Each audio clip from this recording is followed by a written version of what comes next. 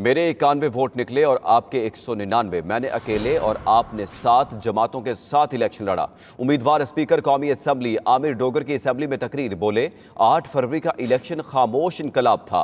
Election के रोज को form पैंतालीस के मुताबिक नतीजा आता तो मेरे 225 वोट होते। हमारे वोटर्स ने इंतबी निशान ढूंढ ढूंढ कर मोहर लगाई।